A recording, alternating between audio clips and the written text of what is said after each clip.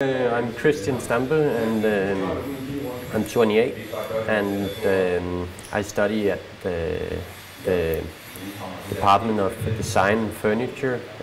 If you need to make good furniture, you have to have an understanding for the materials. Um, and uh, if you know how to weld or use the lathe, um, it's, you're a long way, I guess.